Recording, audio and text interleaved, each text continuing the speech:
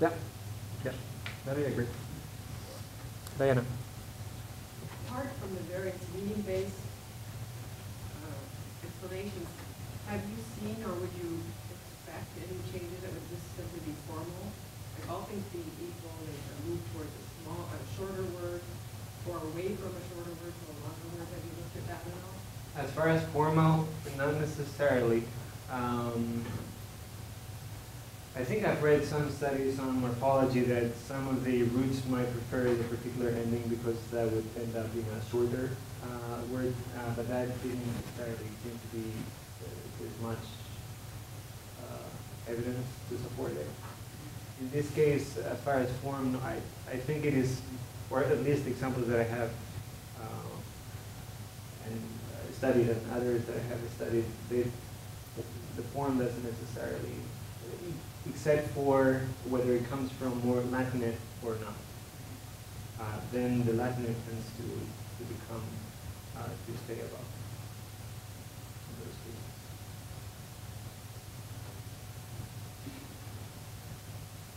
Sure. Once the texts are in the printed form, over maybe, say, a course of uh, a century or so, are there changes in various editions that come out? Or is Yes. it just kind of standard from that point? No, uh, it depends on the actual printing business. Uh, So when you, uh, the printing might have rights for, I don't know, maybe, let's say, 1,000 copies. And then after that, you have to renew that contract, so to speak, so it was the same uh, way. And then maybe you, maybe the new edition would introduce new changes. So in the case of, for instance, this one that I studied, it was faulty in many ways. Um, And in December, there was another edition, December of nine, of fourteen eighty-one, that introduced uh, more changes. And in fifteen fifty-five, the most famous one, um, uh, but that of course name now escapes my mind, obviously. Um, But that one, uh, that I remember, uh, that one was, uh, that's the, the most famous one because that's supposed to be the cleanest as far as mistakes were complete with glosses and all sorts of different things. So each edition will bring another one. The Academy has another one in 1807. And that goes with different methodologies as far as bringing the text that it was original from back in the 13th century. So they had a whole bunch of manuscripts to work with. So they bring different, different changes each time. For me, it's interesting, incunables, which is the, the first printing, are the incunables. Those are very important because that's the, that's the first version. And after that, the changes that happen, we don't know exactly how it happens, but the incunables are, are, are precious in that regard. So, so I didn't, I wasn't here at the beginning, but you believe that those changes were kind of, were not irresponsible as today? We're not, Were not irresponsible, you know, meaning, uh, those were kind of culture and modernizing the word, I don't know, but, uh, compared to the standardization of today. How do you feel? They were, they were, uh, those changes were introduced consciously. Whether they knew or uh, what could happen with the text, then we don't know about that. And they, I don't think they knew about it. Uh, They were just putting their minds into a task that the Catholic monarchs had uh, requested, and they were putting their best effort to bring the best that they had in their minds as far as language. So in that attempt, they were manipulating consciously that text, right? So imagine that someone is requesting the best document possible that you can write, and then you you you start manipulating that uh, to get the best possible text. I mean, doing that, what what is showing to us is their actual mind as far as the linguistic mind of what is for them the preference. You emphasize the towards Latinism, just to, in order to please or, uh, you know, to please the monarch. It could be the monarch, it could be the whole circle in which they were working with. Because we cannot, uh, you know, personalize. Uh, They, they had that task, but they were moving around a circle that it was probably with the same state of mind as far as this is what we like, this is what we don't like, we prefer this, we prefer that. nobody says this, everybody says that. Uh, So it's, it's the circle, the network.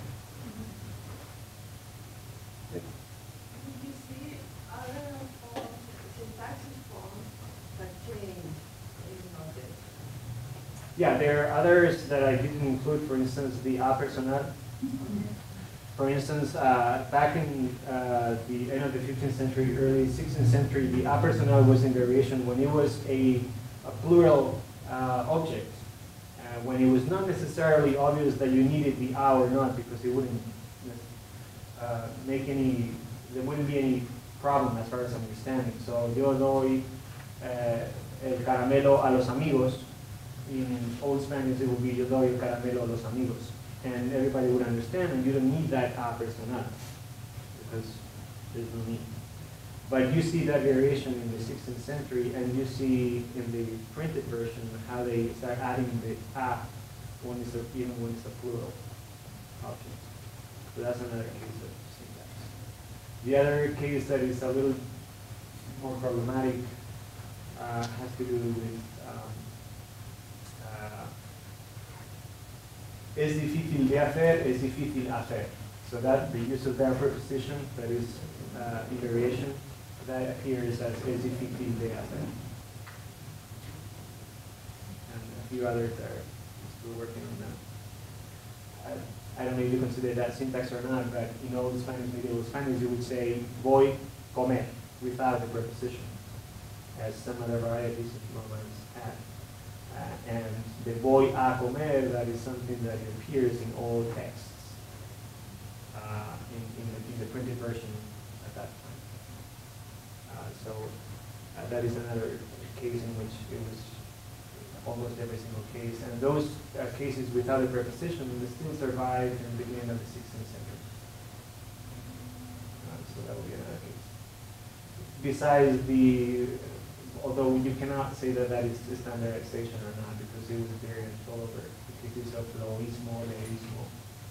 Uh, this Seville uh, printed version, uh, it was leísta.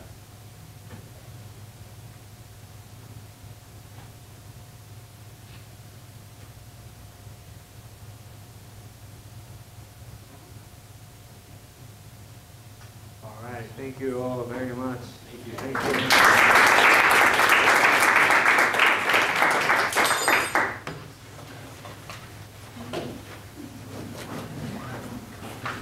Can I make a brief announcement? I'll be offering, I'm sorry, capitalistic system that we have in this country, it necessitates the need. If this system is to survive, the need is there, it must expand. So you look at the areas that America is trying to expand in. It's people of color. It's no way around it. The other stuff people talk about is nothing but chewed up grass called bullshit. The problem I have is that too often we alienate ourselves because of ethnicities.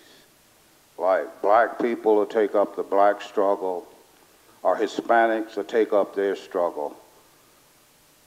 But there's no way you can defeat it unless they come together as one and realize what's going on in this country to keep people of color oppressed. And yes, white people have to give up something. They didn't earn this country, they frickin' stole it. So in reality, they have no right to it. Even though you hear people now talking about the illegal aliens from Mexico, they stole it twice. They weren't happy when they stole it the first time and set the borders at the Pecos River. They had to move farther into the Rio Grande. So people should wake up and realize that unless all people come together, they will always be on the short end of the stick because for this system to survive, it must be.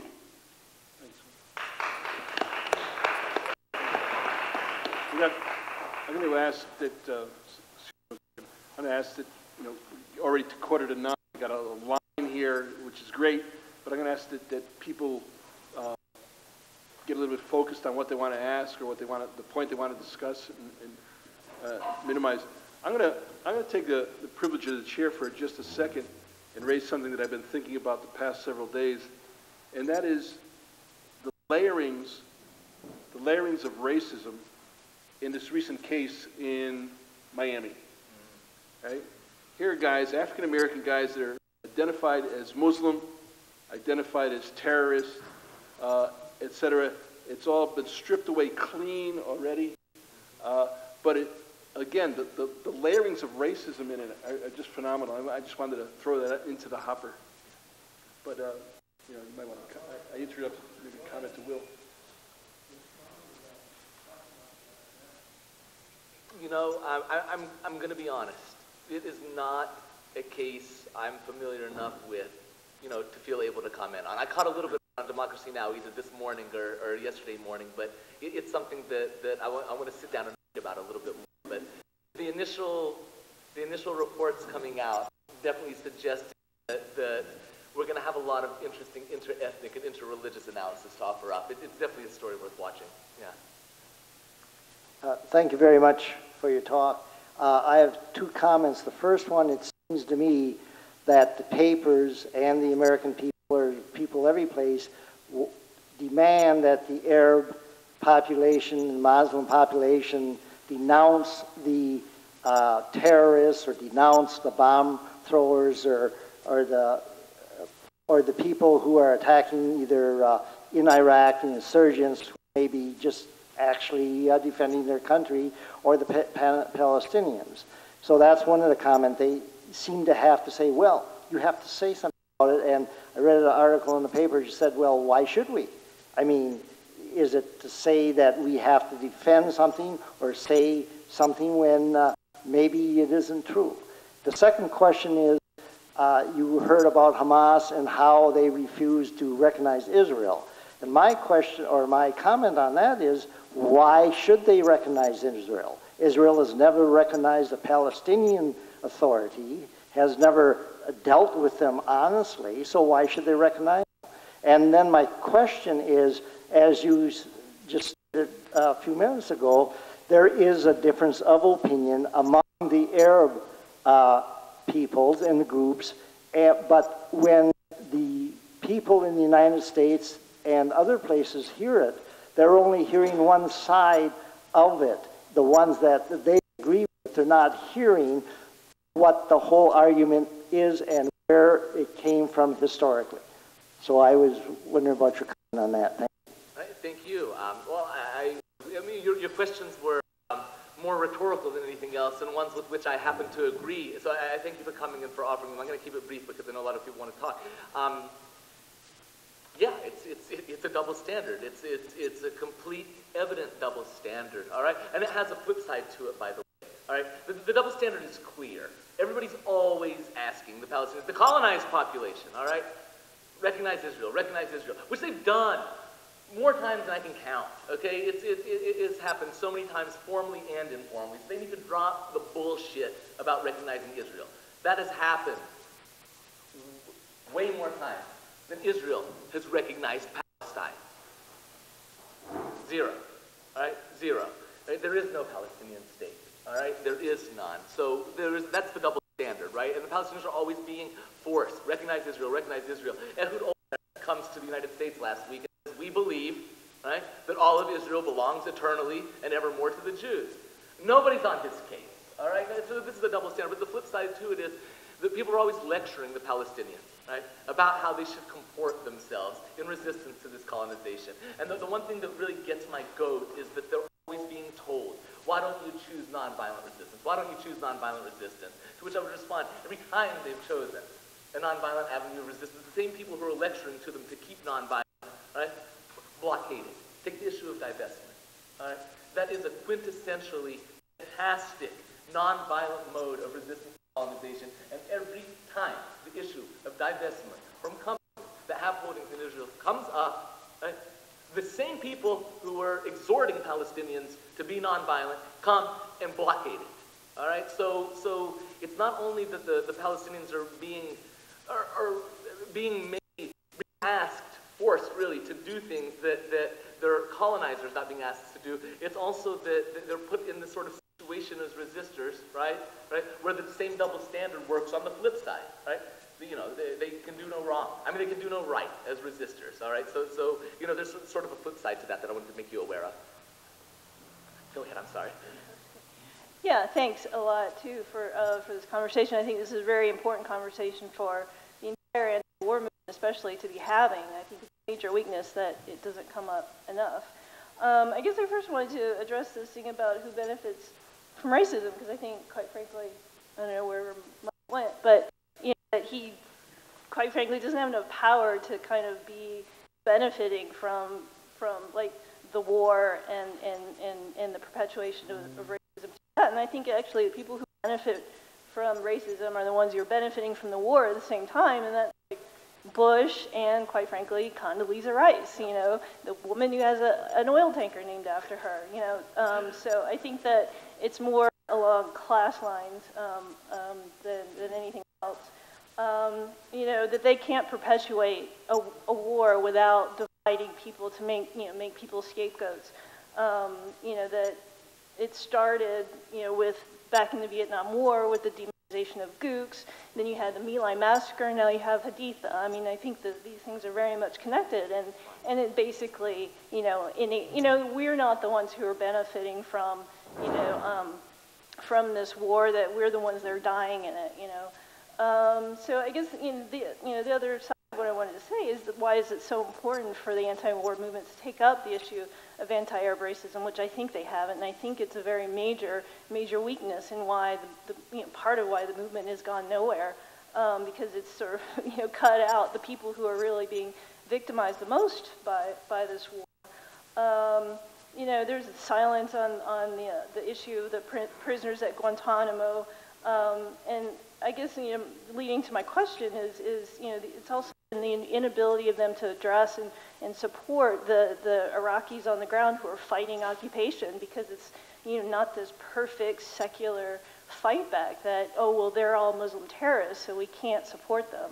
So I guess I was wondering sort of you know I believe that you know everyone has the absolute right to fight back. You know even if those you know I'm not there. You know if those methods aren't perfect, they're fighting back, and I think that's a good thing. So I support that. Um, you know, do I think that necessarily kidnapping is, you know, the best strategy? I would say maybe not. But, but I absolutely support their right to fight back. And I guess I was wondering what, what you thought about the Iraqi resistance and, and, you know, whether we should be, you know, sitting, you know, sort of vocally more supportive of their right to fight back. Right. Um, uh, uh thanks for coming for the question, which is really provocative. Um, yes, I believe that, that anybody who, anybody who's invaded or, or put upon in, in a similar way has the right to fight back. In fact, international law dictates that, that, that people have a right to, to colonization, invasion, and fight back. But, you know, I, I, anytime there is a, a resistance to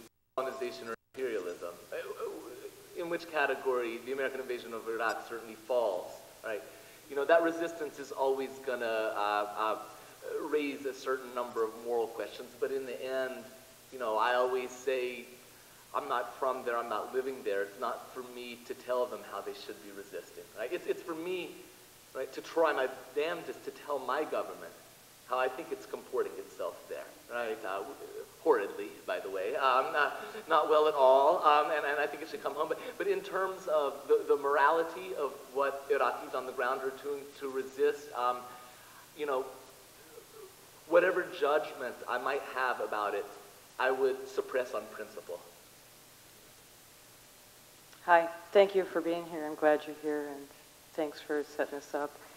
Um, I just think about how we're all human beings on our planet, and you know, we all want to see our children happy and thrive and everything like that on a global level.